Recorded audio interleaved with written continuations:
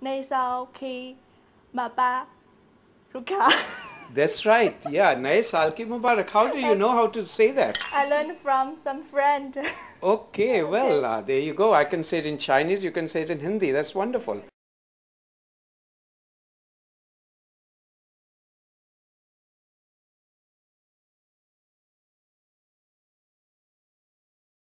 For 15 minutes, I'm going to do the other part of this dish.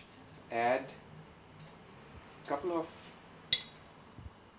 three tablespoons of oil. We are going to use canola oil but you can use olive oil as well.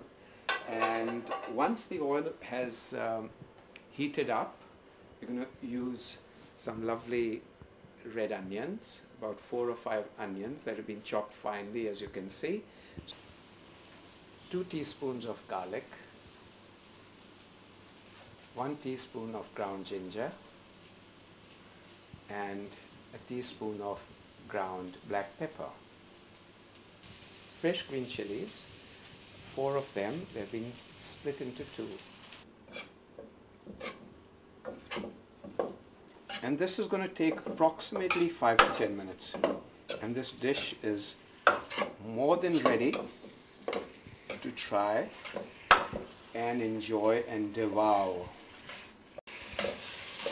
The chicken Manchurian, a Chinese dish that has basically come about in India. How beautiful that's looking.